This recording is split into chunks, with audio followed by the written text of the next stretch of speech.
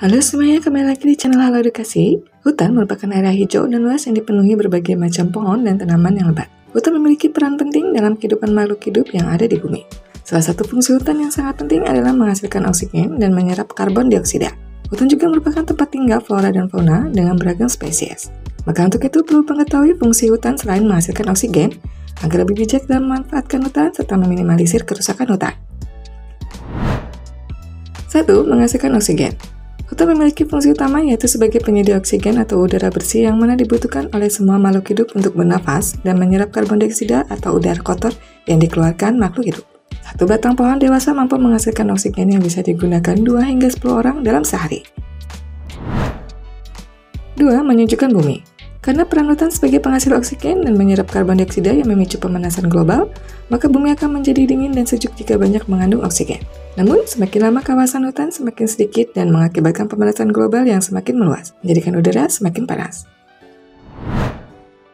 3. Cadangan air tanah Hutan menjadi tempat cadangan air tanah dengan menampung air hujan yang jatuh ke dalam tanah dan mengikat air hutan dengan akar-akar pohon. Selanjutnya, air hujan tersebut dapat menjadi cadangan air dalam tanah.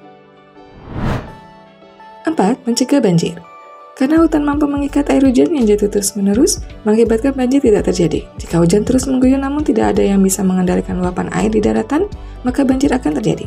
Hutan berperan penting dalam pencegahan banjir karena mampu mengangkat air hujan yang berlebihan.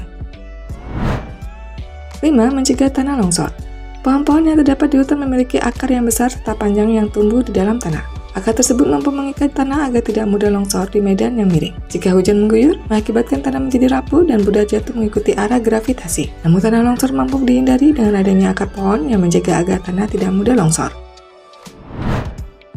6. Tempat tinggal hewan Hutan hujan tropis memiliki kanopi sehingga mampu melindungi hewan yang tinggal di dalamnya. Hewan karnivora, herbivora, dan juga omnivora mampu tinggal di dalam hutan yang lebat karena banyak kandungan air serta sumber pangan bagi hewan. Para hewan yang juga memilih tinggal di dalam hutan karena sumber pangan terpenuhi yang mampu menunjang hidup mereka.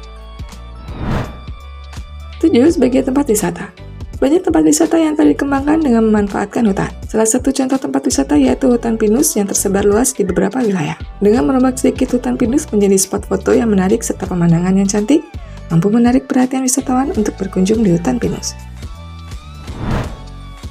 Nah, itulah tadi pembahasan mengenai fungsi dan manfaat hutan.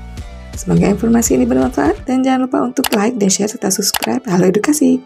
Sampai jumpa di video selanjutnya.